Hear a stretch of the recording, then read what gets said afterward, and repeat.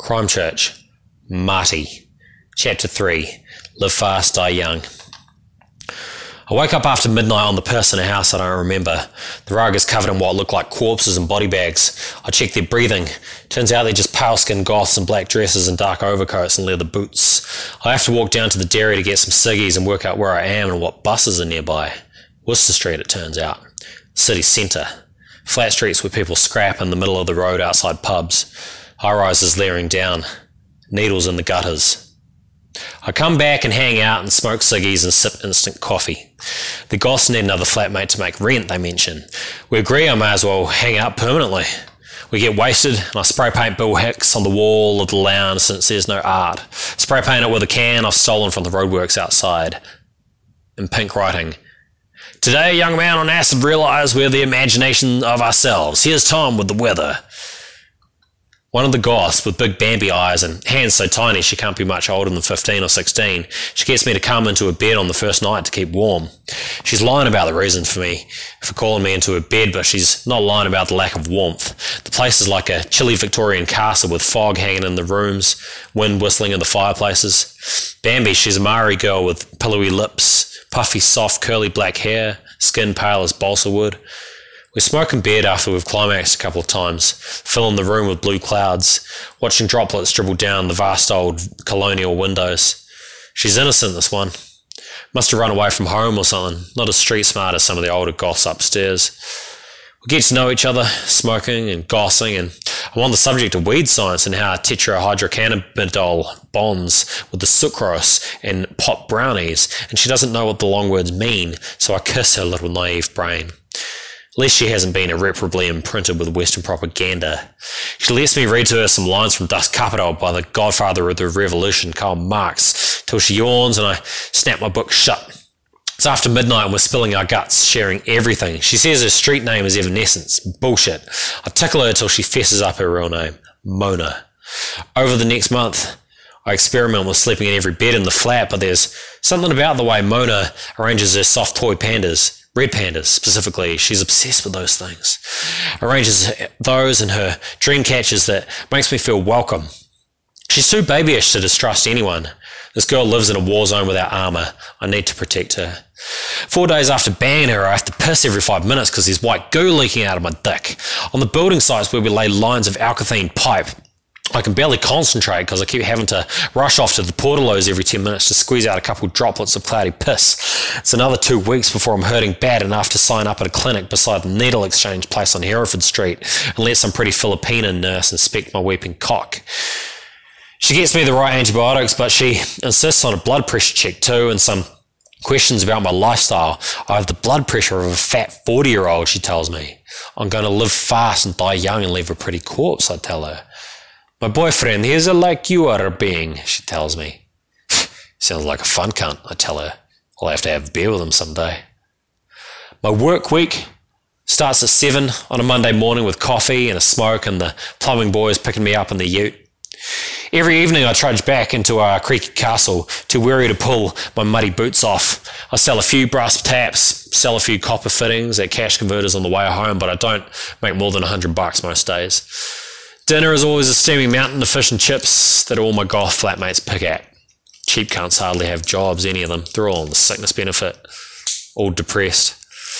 We stretch the food out with white bread and margarine and sachets of Burger King ketchup. Then there's no food in the house again till the next night. Everyone reckons they've already spent their student loan money and there's only so many fake, fake accounts you can set up. Every t- TV show I watch has got rooms of good looking 20 somethings living in perfect democracy, all lovemaking and laughter. This place, I don't know. It's really only this Mona chickadee that makes me want to stay. She does shifts on checkout at Pak'nSave. She dyes her hair amethyst. She covers her childish spotty skin with a mask of white foundation makeup. When we're watching scary movies, she pulls a Pokemon blanket up to her teeth. Just before midnight on a spring Tuesday, there's a wildfire of gossip and knocking on doors, and everybody mobilizes. The call goes out. Someone deserves a hiding. Someone's getting a hiding. This friend of Vlad has had his son taken off him by his ex missus's boyfriend from Nelson or whatever, and he wants revenge on somebody, anybody. A mob goes out looking to deface the pretty city. Walking in a sweeping line, eight wide down the pavement, we force people into the gutter. We march our boots and dreadlocks through Worcester and High Street and Cathedral Square. Tourists see us coming across the road. We drift up the north end of Manchester through the posh neon restaurants of Merivale. We unchain some rich people's dogs. We shake their lop rabbits out of their cages. We are starting a revolution of animals or whatever. I don't know. It's all unclear. All I know is one of the group is in the Earth Liberation Front and hates animal bondage, and it feels good to be pissed off at something. We climb down to the Botanic Gardens where we topple this big marble statue and shunt the broken hunks of marble into the middle of the road. I've heard Jade Slattery started living like a commando survivalist nutjob in the bushes somewhere in Hagley Park, and I, I paused to wonder for a second if we'll step in one of his bear traps. Then we're on the move again. Forget Jade Slattery and forget Joel Lynn. He was a lousy bro. Zero chance I'll ever bump into those cunts again. We take a taxi to the Rocky Cola bar where it's Halloween and there's a show from this band that Vlad's stepsister is in called Umlaut. And although you're supposed to mosh, I wrap my arms around my baby girl and she buries her face in my woolly dreadlocks and we slowly swoon in the basement of black beats and mist, our feelings pausing the spinning world.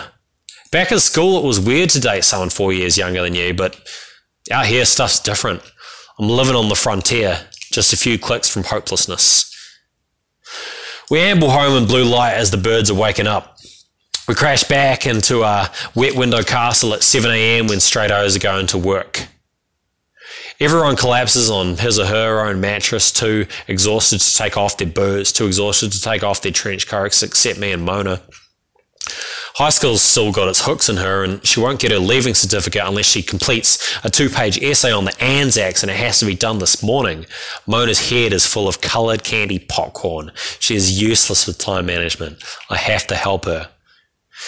There is only one decent lamp in this flat and its base is broken, so I hold the wobbling light bulb for two hours over her refill pad while she handwrites her assignment after she hums a song by Pink as she laces up and walks out the door to catch an 8.30 bus to Hagley Community College to hand her work in. I watch to see if she'll look back at me appreciatively. It's payday, so I call in sick and smoke a sesh with some chefs who have dropped around to score a Ritalin, and I end up away for a week at some Riccarton flat playing all night poker with Chinese meth head accounting students from the university. When I come back, the bed is gone from Mona's room and there's a blank spot on the wall where her Salmonella Dub poster used to be. The flat is going empty one by one, and I need to get out, else I'll be left with the mountain of dirty dishes covered in so many maggots it looks like the porcelain is alive. I cram my hoodies and CDs into a black garbage bag, leave my plumbing workbooks in a pile of bills and fines and bake notices, and move on. There is this basic kitchen and skill certificate you can do at the Polytech. It teaches you how to wash your hands so you don't give hepatitis, pretty much. You get course related costs and a student loan plus free kitchen knives. The careers advisor at Tex is a good fit for me. I pick up my certificate two months after I start.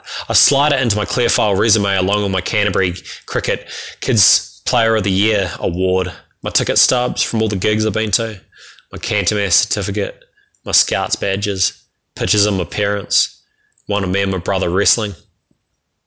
I get a new SIM card and change my mobile number because I can't face the awkwardness of Otautahi plumbers ringing me up and confronting me about why I quit. The world is a huge place, plenty of room to run from things.